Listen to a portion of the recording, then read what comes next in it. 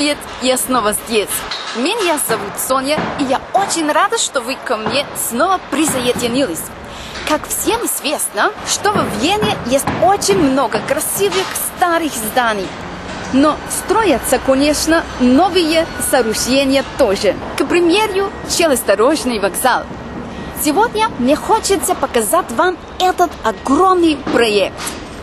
Вот она, самая высокая доступная для посещения деревянная башня Европы.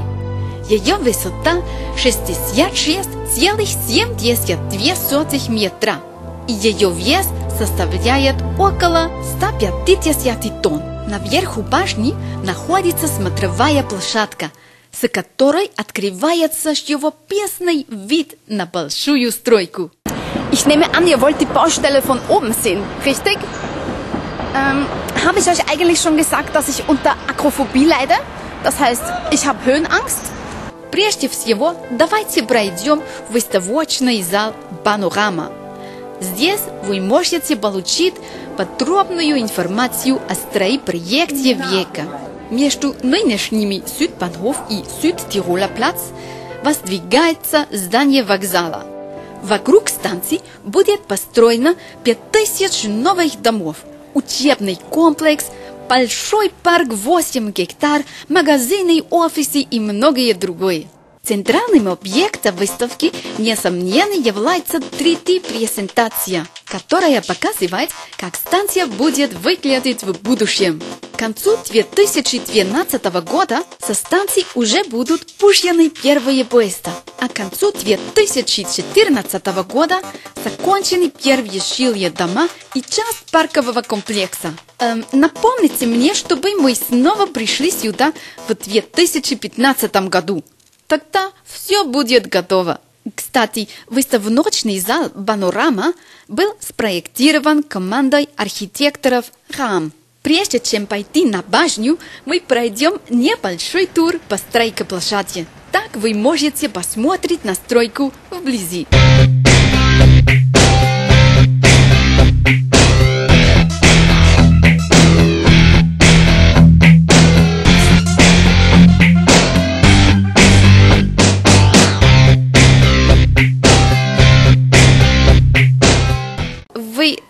Еще хотите пойти на башню, не правда ли?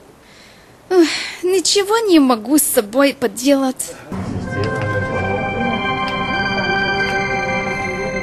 Сейчас мы находимся на высоте 40 метров и...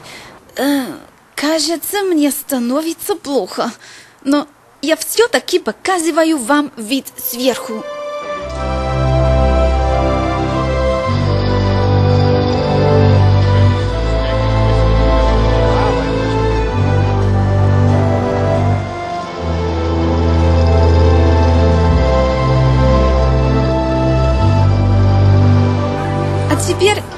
быстро вниз.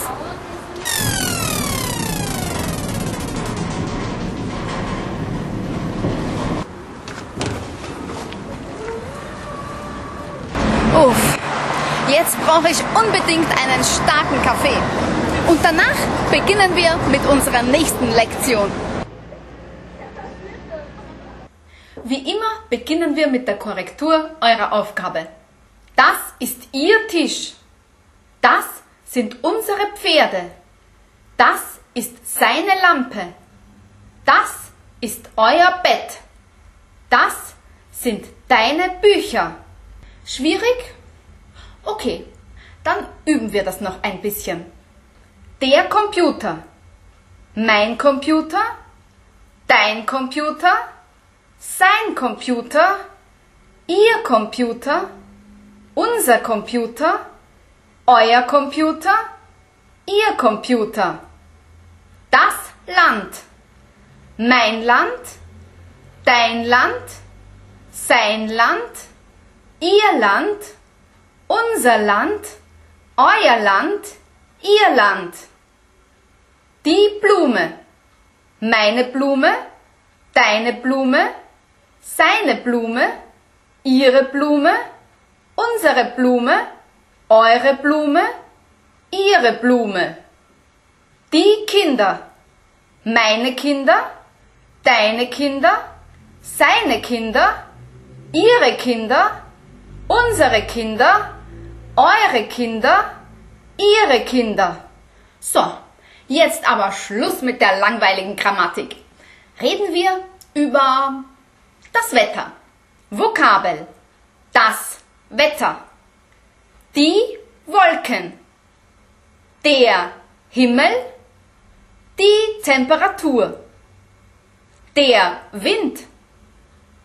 Der Regen. Die Sonne. Der Schnee. Kalt, warm, trocken, feucht. Dialog. Wie ist das Wetter in Peking? Wie ist das Wetter in Peking? Grauenvoll. Es regnet, es weht starker Wind und am Himmel sind viele Wolken. Wie ist das Wetter in Wien? Grauenvoll. Es regnet, es weht starker Wind und am Himmel sind viele Wolken. Wie ist das Wetter in Wien? Hier scheint die Sonne. Es ist angenehm warm und trocken.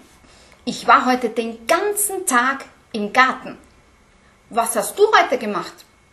Hier scheint die Sonne und es ist angenehm warm und trocken. Ich war heute den ganzen Tag im Garten. Was hast du heute gemacht? Ich habe den ganzen Tag gearbeitet und bin sehr müde. Ich habe den ganzen Tag gearbeitet und bin jetzt sehr müde. Das verstehe ich. Aber zum Glück kommst du ja bald wieder nach Wien zurück. Das verstehe ich. Aber zum Glück kommst du ja bald wieder nach Wien zurück. Ja, Gott sei Dank. Ja, Gott sei Dank. Zahlen 11 bis 20. Erinnert ihr euch an die Zahlen von 1 bis 10? Sehr gut. Jetzt zählen wir bis 20. 11, 12, 13, 14, 15, 16, 17, 18, 19, 20. So, und jetzt ein bisschen schneller. 11, 12, 13, 14, 15, 16, 17, 18, 19, 20. Fakten. Im Juli 2010 betrug die offizielle Einwohnerzahl von Wien 1.706.672. Im Juli 2010 betrug die offizielle Einwohnerzahl von Wien 1.706.672. Aufgabe. Итак, попробуем что-то новое. Напишите мне, какая погода у вас. Но, пожалуйста, не более двух предложений. Затем я исправлю в электронной почте. Also, wie ist das Wetter bei euch? Ich bedanke mich für eure Aufmerksamkeit und wünsche euch noch einen schönen Tag. Bis zum nächsten Mal. Tschüss. Baba.